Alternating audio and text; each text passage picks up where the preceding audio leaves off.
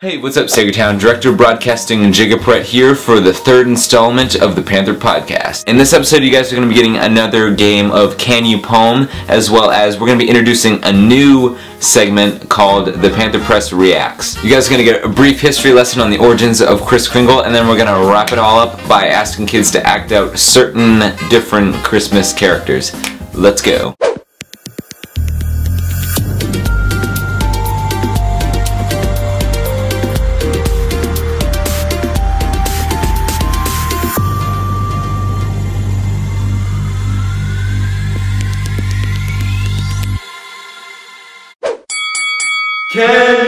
Poem?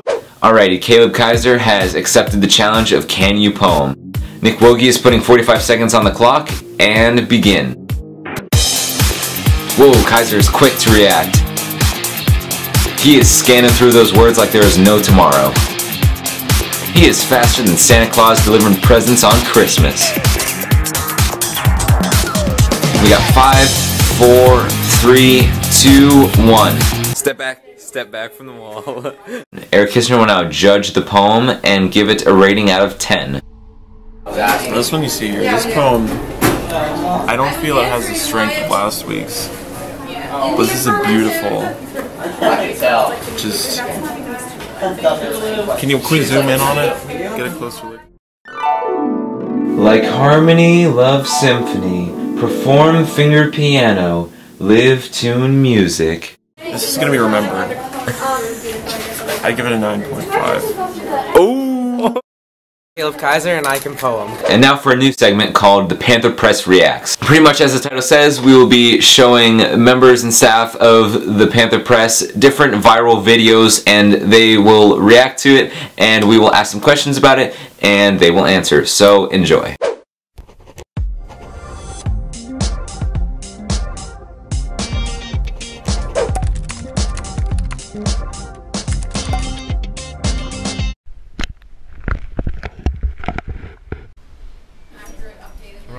Do this.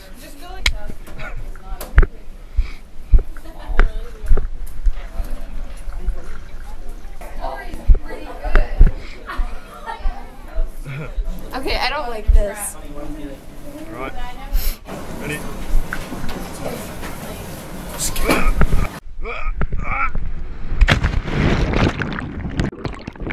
can't be real. Oh no.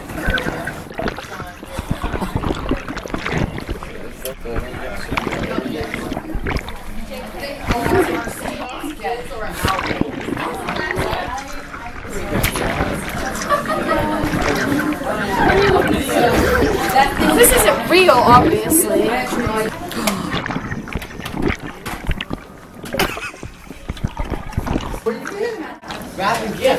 gotta back to shore. That video was real or fake? Probably real because like the shark didn't. I mean, it wasn't like him like punching the shark in the face or anything. I don't know. It was real. It looked pretty real to me. Okay, well, yeah, you're the only one who thought it was fake, and yeah, it was fake. And yes, this video was fake. What would you do in a situation like that? I don't know. if I wasn't underwater, I would cry. Fishing. Cried. I was like crying, then drown. Freak out a little more than he did. I'd definitely be trying to swim to the shore. I would probably cry. I don't know. Yes, I would kick it or punch it in the face, but not in the teeth because they're really sharp. I would go for the eyeballs if I had to defend myself. I would take the eyeballs and I would yank them out. History lesson. Okay, so for this episode's history lesson, we have a little lesson on Kris Kringle. Kris Kringle, also known as Santa Claus, St. Nicholas, Father Christmas, or simply Santa, is a figure with legendary, historical, and folkloric origins, is said to bring gifts to the homes of good children on the 24th of December, the night before Christmas Day. The more you know. This has been your history lesson. Okay, so to wrap things up, here is a montage of us asking some staff and some students of Saegertown High School to act out different Christmas characters. Check it out. Alright, give me a, your impression of a snowman.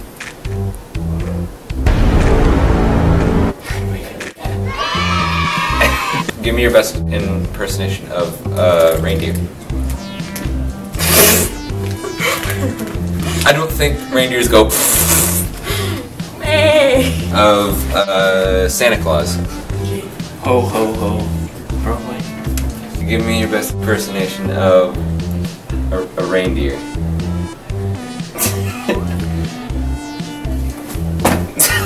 a reindeer. A reindeer. Give me your best impersonation of an elf. But Santa, I can't work today. It's my wife's anniversary. Please. I'm Dasher, on Dancer, Prancer and Vixen. Alright, I'm done. Alright, thank you everyone for watching. This has been the third installment of the Panther Pawdcast. I hope you guys have a wonderful Christmas, and I will see you in the next episode.